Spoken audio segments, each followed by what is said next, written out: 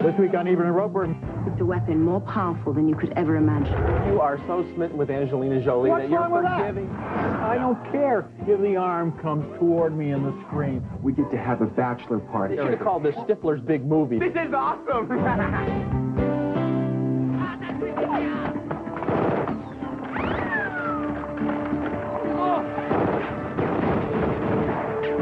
Angelina Jolie fights death in the cradle of life in the new Lara Croft adventure. It's one of six new movies this week, including another look at Seabiscuit.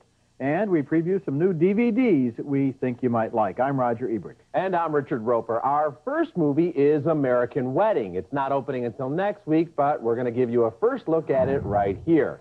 It's the third slice of the American Pie series, and while most franchises tend to go soft and sweet by this point, I'm happy to report that Wedding is just as horny, tacky, and funny as the first two.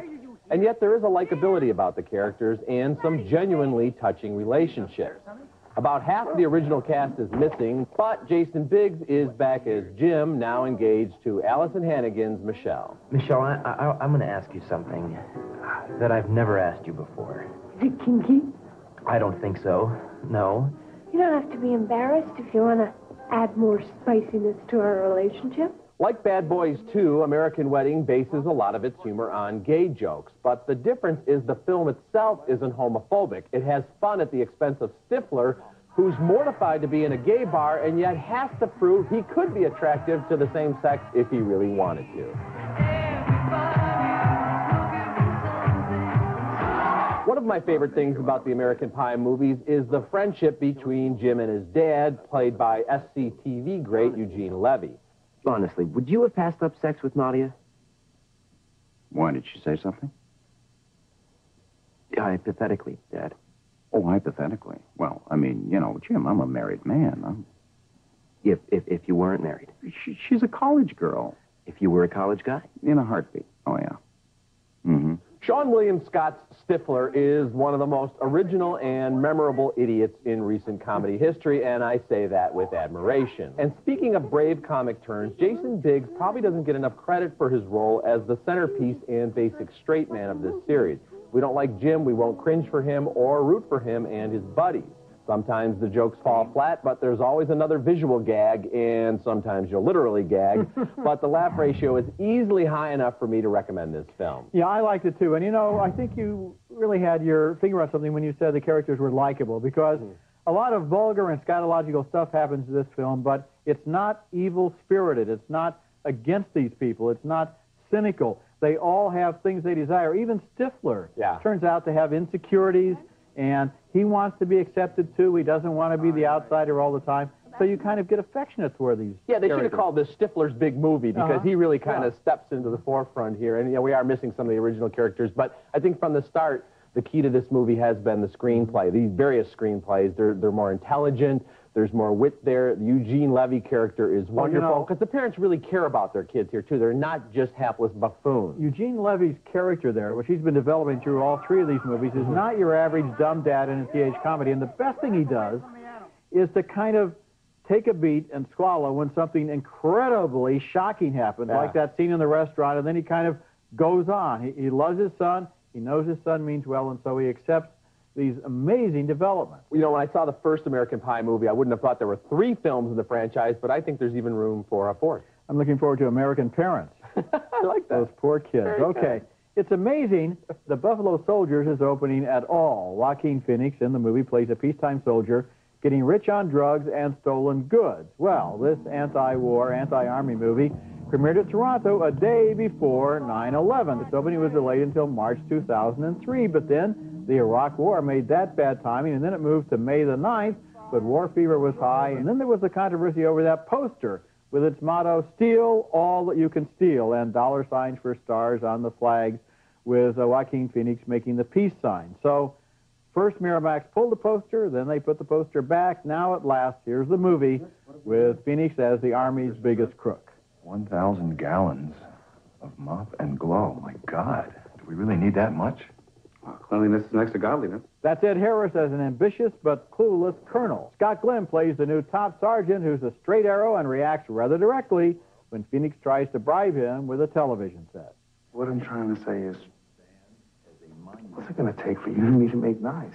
Are you saying what I think you're saying?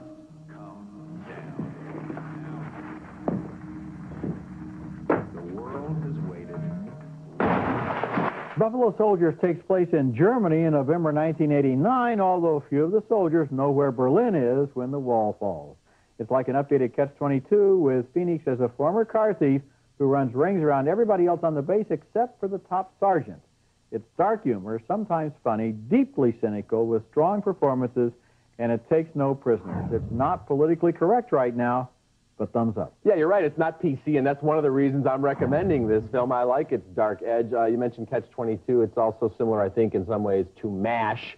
Uh, Ed Harris's character kind of reminded me of Colonel Henry Blake. And just as MASH was set in Korea, but could have been about the Vietnam War, it's the same thing with this movie. Set in the late 80s, but it could be about a lot of war, a lot of soldiers who maybe join up because they think it's a free ride. Mm-hmm. They think it's a way of getting out of trouble when the judge says, well, either six months in jail or you got to join the army, and all of a sudden they find themselves in this this crazy situation. I thought Joaquin Phoenix gave a brave performance here. He's not a very likable guy, and yet somehow I was kind of charmed by him. I Right. wasn't. I wasn't charmed. He is really a dark guy. I mean, what about the scene where he comes upon the dead uh, soldiers who were driving trucks and he says, "Let's steal the truck." I mean, he's a complete opportunist. He has no morals at all. He has no standards at all. Mm, I think he has some only morals. for himself. No, I think he has some morals. I also want to say, I don't think they needed to keep delaying the release of this film. It was okay to release it back in September of 01. They could have released it last spring. I'm glad it, it's out now, and I hope Yeah, people I give it a chance. I think that actually Miramax got a little timid about this and also about the Quiet American. I think Harvey Weinstein was just so affected by 9/11, understandably,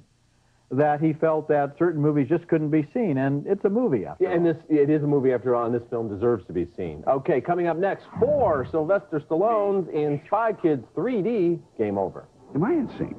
Completely. I have to save my sister. Sorry, Juni. But I have my own family to think about. I can't beat you, Arnold. Our next movie is yet another summer sequel, Spy Kids 3D. Game over. It's further evidence that 3D is about 2.5D at best. Now, in 1838, physicist Charles Wheatstone invented a special viewing device that could show two images from two angles simultaneously. 165 years later, we have these. Not much advancement.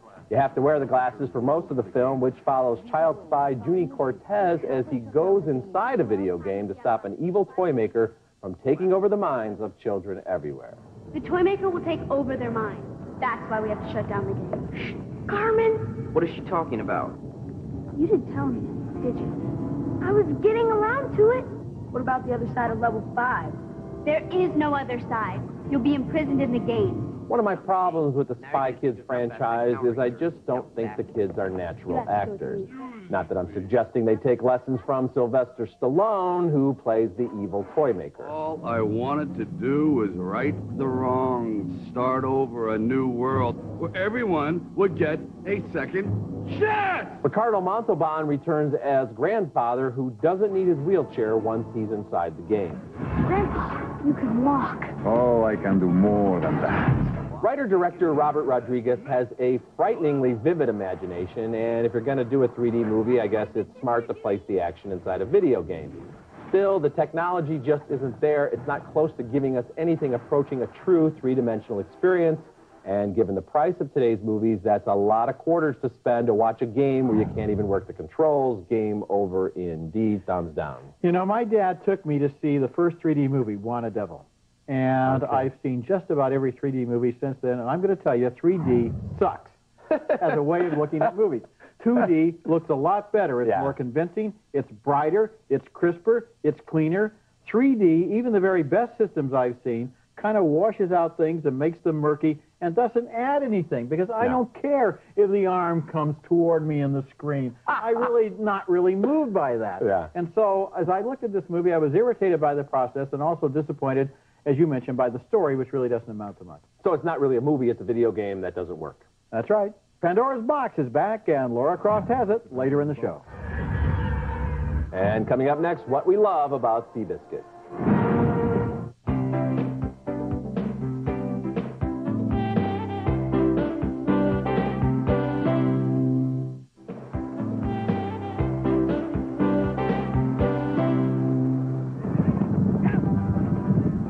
The camera is right in the middle of the action in Seabiscuit, which we reviewed on last week's show. It opened Friday, and we both recommend this saga about a lazy little racehorse that became the sports hero of the 1930s. Tobey Maguire plays the jockey who understands the horse, and Chris Cooper is wonderful as the trainer who believes Seabiscuit can come back after an injury. How far do you want me to take him? Charlie, stop. Okay. That seems like a pretty good ride. Hope so. It's surprising how worked up I got during this movie about races that, after all, were run 65 years ago. You identify so strongly with the horse that you understand why millions of Americans loved them.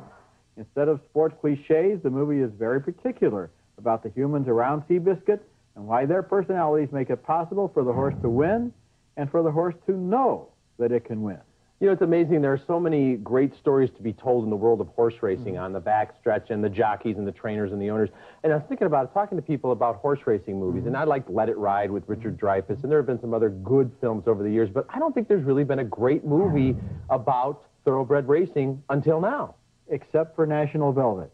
National Velvet, okay, and mm-hmm. Phar Lap is a very good film Yes, as well, but very too, yeah, few, and this is, yeah. I think, the best I've ever Yes, seen. Yes, it is. Okay, next is Hotel, the truly terrible avant-garde experiment from Mike Figgis, and probably the only movie that's ever going to feature Salma Hayek, Burt Reynolds, Lucy Liu from Charlie's Angels, and David Schwimmer from Friends. Here, Rhys Ifans, the roommate from Notting Hill, is an abrasive director shooting a dogma film of the Duchess of Malfi. Right.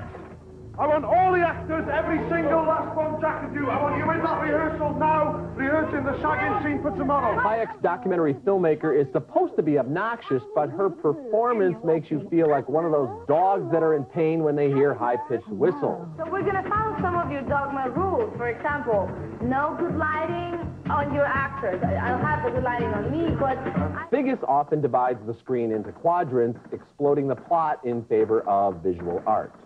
Figgis is a great talent, but it might be time to settle back to a more decaf style of filmmaking. Shooting a dogma movie within a movie, encouraging your actors to go wild to the point where they're barking, literally barking. It's all headache inducing. If you came across Hotel playing on monitors in a museum of contemporary art, it would grab your attention for a while. But as a movie, it's too pretentious, too confusing, and just too much. Well, I like the barking, and I like the movie. Now, I know it came out Really? of England with terrible reviews, but the British always like to slap down anybody who gets out of line. What I like about this movie is that he tries to do something new and often succeeds. Now, part of it mm-hmm. doesn't work. Salma Hayek doesn't work. You're right about that. But there are erotic scenes in this movie that are truly erotic, and I say that often going from one year to another without seeing anything at all on the screen that's sexy at all. I didn't think any of these supposedly erotic scenes were at all hmm. erotic, or I didn't find any humor at all. I think it was just so aware of itself that I not even that worked for me. So many movies don't try to do anything at all that I think Figgis gets points just for being out there, trying, really kind of putting himself on the line and doing new stuff and taking chances. And I like him for that. Okay, in a world of cookie cutter action heroes, Lara Croft is an original. Lady Croft doesn't merely fight drug dealers, but she actually saves the world. Lara Croft Tomb Raider, The Cradle of Life, is better than the first Croft movie, which I also like. It has an untamed imagination that not only supplies bizarre, exotic locations, but has fun with them, creative fun. This time, Lady Croft is after the original Pandora's box, which brought life to Earth but also contains death for the human race. Her sidekick, Terry Sheridan, played by Gerard Butler, follows her into some dicey situations like a crash landing in China ready. Now. Ready for what? And a quick high-rise escape.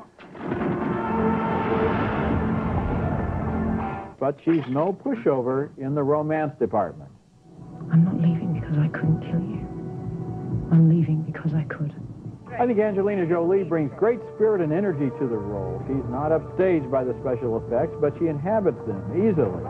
The movie looks good and has a lot of wit and doesn't just fill the screen with mindless violence, but has the kind of storytelling imagination we remember from the Indiana Jones movies. And I had to grin when she dismisses the Sunday school version of Pandora's Box. I'm wondering what Sunday school does she go to? Well, I don't know, but I'd rather go to Sunday school than sit through this again. Oh, I think you are so smitten with Angelina Jolie What's that you're wrong with that? forgiving. Well, What's that's, wrong with that's that? fine. Well, first of all, her British accent slips in and out. That's one thing wrong Oh, with that. well, I mean- and you talk about this story having imagination. Oh, we have another madman who wants to take over the world or destroy half the world so he can rule the other For half example, of the world. this guy's secret lab is in Oh. the middle of a mall, a shopping mall in China. I mean, that's kind of interesting. No, that's silly. It's ridiculous. And this is another one of those movies where the police never show up, even when there's shootouts everywhere. You do and not the, bring and, logic and- to a movie and- like this. Logic has no place I'm not in a saying movie logic. like it's just silly and the stuff we've seen before. If it's going to be played for camp, maybe. But if we're supposed to take this as some sort of fun, No, adventure-filled romp, it just doesn't. I don't think it has the spirit and the humor that you're giving it credit you, for. It's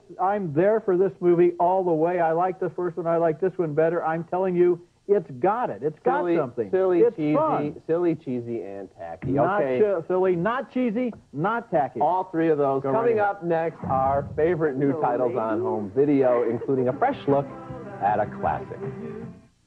Visit our website at ebertandroeper.tv or at movies.com. Ebert and Roeper's Thumbs Up Video is brought to you by Nestle Raisinets. At the movies or at home, Raisinets. From Too Fast, Too Furious to Charlie's Angels Full Throttle to Bad Boys 2, most of this summer's action sequels have been big, loud duds. But last spring, one franchise got it right. Jackie Chan and Owen Wilson returned in Shanghai Nights, and it's my thumbs up video this week. Chan is out to avenge his father's death, and Wilson is falling in love with Chan's sister. But the London based adventure is just a loose foundation for the intricately choreographed fight scenes as when Chan pays tribute to Gene Kelly. The DVD extras include a bounty of deleted scenes and a fight montage acknowledging that Shanghai Nights is a direct descendant of the silent era. Shanghai Nights is a light, funny, adventure-filled romp. Jackie Chan's comeback after that tuxedo picture. Oh, man. Nicolas Cage was a charismatic actor right from the start. He had his first starring role in 1983 in Valley Girl. He was only 17, playing a showboat who lives in Hollywood and falls in love with a Valley girl whose girlfriends think he is like totally grody and she should stick with her boring jock boyfriend. Like, I don't think you'd be any more welcome down there right now. I mean, let's leave the party. I'm so sure. The movie is new on DVD with lots of extras, including a commentary track by director Martha Coolidge and a conversation about the film between Cage and Coolidge. I didn't really have a method, so I was trying to search inside myself. Valley Girl has the honesty of a teenage movie like Say Anything, and Nicolas Cage creates an unforgettable character, part lounge lizard, part Elvis, part just an insecure kid. Valley Girl is my DVD preview coming out next week. You can see the seeds of Nicolas Cage's greatness oh, in that role. Oh, also coming out on DVD, it's a special two-disc edition of one of America's and one of my favorite movies, Casablanca, with a commentary by my partner right here on the balcony. Terrific, terrific edition, anybody's library. Okay, looking ahead to next week's show, we'll review Jennifer Lopez and Ben Affleck in Gigli. Hello. And coming up next, Bob Dylan got a standing ovation before his movie premiered at Sundance this year, but he didn't get one afterwards.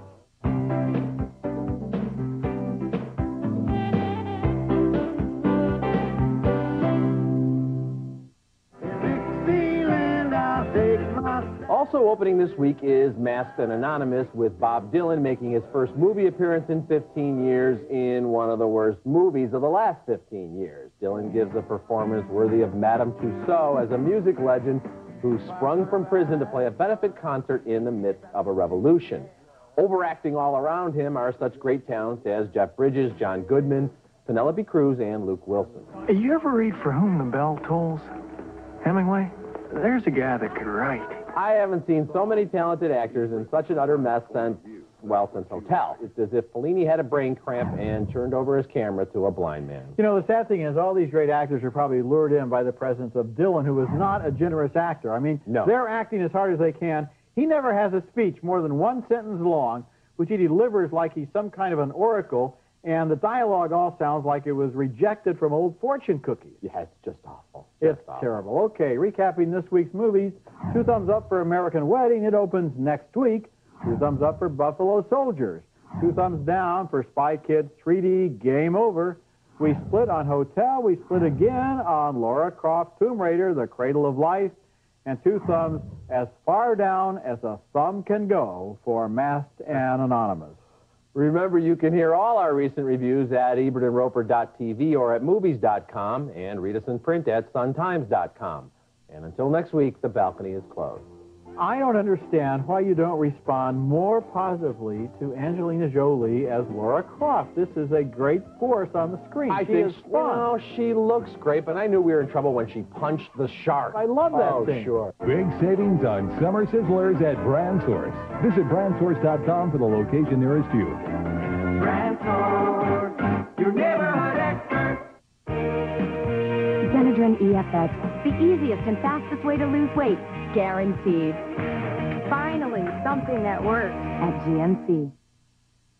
One phone call, everything you need to find a great dentist that's been pre-screened for you by us. So call us today. The Conair Bath Spa with powerful dual water jets. It revives you, it relieves sore muscles, it pampers you all over. Experience it. Closed captioning for Ebert and Roeper is brought to you by You've always trusted Meineke for mufflers. Now you can trust them to service a whole lot more. Meineke Car Care Center. Our new name says it all.